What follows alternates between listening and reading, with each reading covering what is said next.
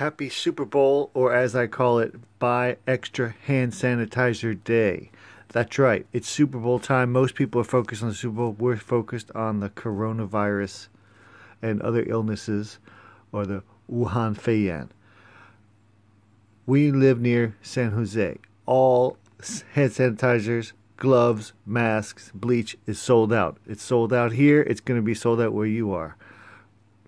Go enjoy the Super Bowl, get some buffalo wings, see if there are uh, any hand sanitizer or bleach left where you are. Where we are, there is none. Because there's one case within 300 miles, you're going to be sold out very, very soon. Go now. Buy hand sanitizer, buy bleach, bleach wipes, buy masks, face masks, things like that.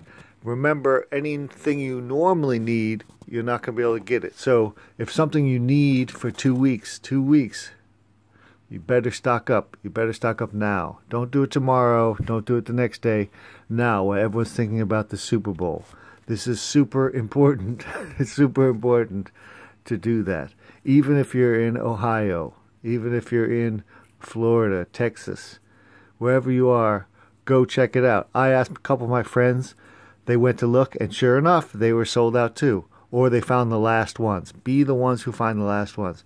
Because right now, what we know about the coronavirus, via Wuhan Feiyan, if you get it, there's a 1 in 50 chance that, that you'll die.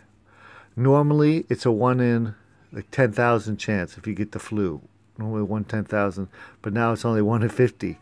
And if you're on the edges, if you're older, if you're sick, if you're young, it's even more. So regular, strong person, one only one in fifty is gonna gonna die from this, but it's gonna affect if you if you have diabetes, it's gonna be harder to get things. If you have a lung condition, if you have a cough, a normal cough, people are gonna think you're contagious. They're gonna treat you differently.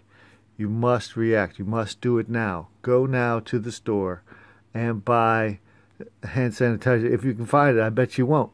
Comment below if you went there and it was all gone. No matter where you are, now is the time. Do not wait until tomorrow. So I've been hearing lots of stories from inside Wuhan.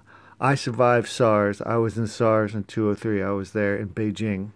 My wife's family is from Wuhan, and half of them is still living there. They're quarantined they're in there. There's lots of sad, sad stories because you,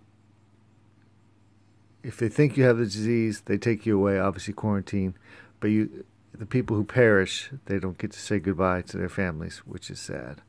So be on good terms. Use this as a chance to connect, reconnect with people, and do not wait.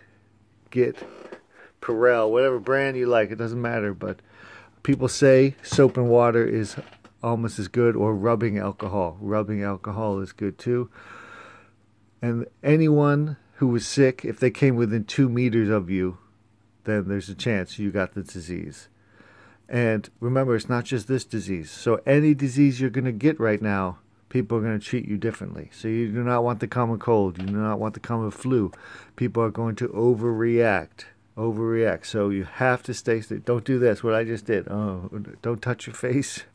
Try to play a game. Make it a game. The don't touch your face game. How many times did I almost touch my face? Because that's the biggest thing.